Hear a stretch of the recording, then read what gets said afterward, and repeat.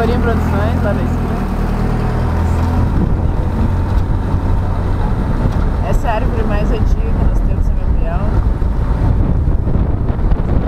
A casa é mais antiga também. Lindo, muito bonito.